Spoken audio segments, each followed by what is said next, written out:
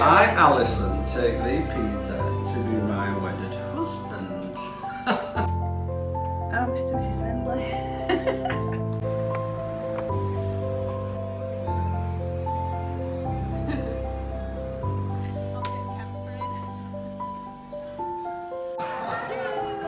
One more day to go. Less than one a day. Just the day before the wedding. Nothing like a good diet. Far enough to. Yay!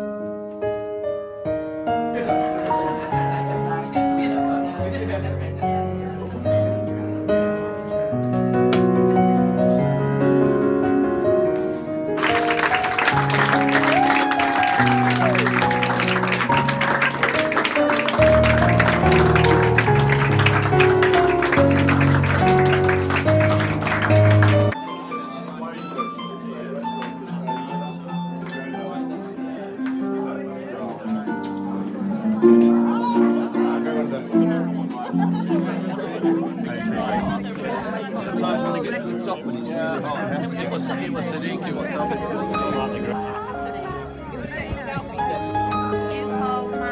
Margaret,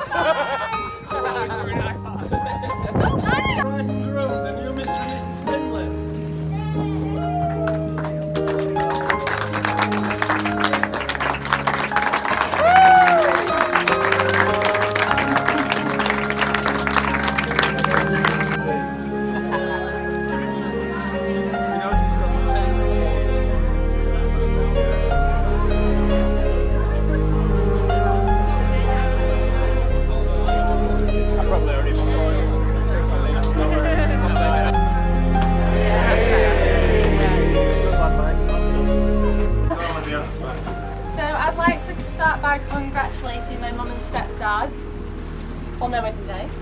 I'm sure you'll all agree that my mum makes a beautiful bride. Yay! It hasn't been a smooth journey getting to this point, so I'd like to take this opportunity to let you both know how happy I am for you both and how I only wish you a lifetime of happiness. Mum, you are amazing.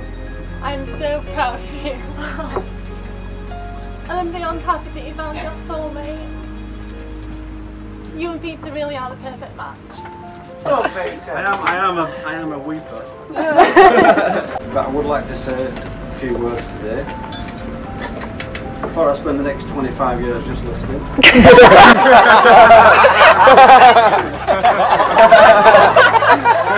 I hope you haven't heard this one because it's really corny. My speech, ladies and gentlemen, is going to be a bit like a miniskirt. Long, long enough to cover the essentials and short enough to keep your attention. so we have lots of thank yous to get through, so on behalf of my wife and I,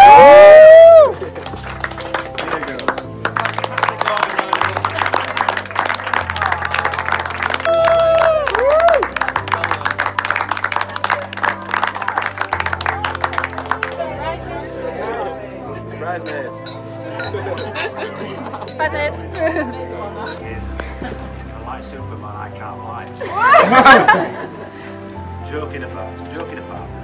Loyal, caring, sincere, sincere, honest, and a great man. But anyway, that's enough about me. I'm. Who's the girl? Who's the girl? Who's the boy? Does anybody check I'd be worried.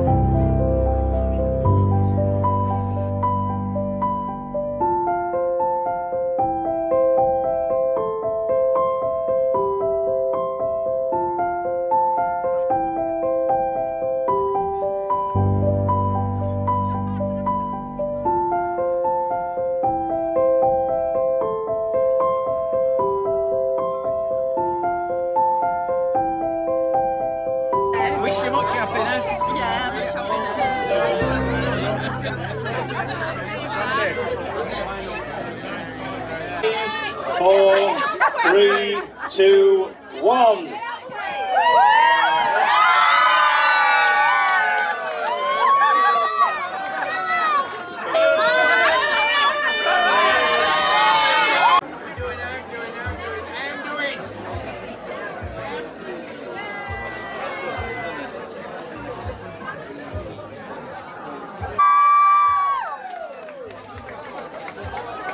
Are about to invite our bride and groom onto the dance floor for their first dance. So can we give them a big round of applause?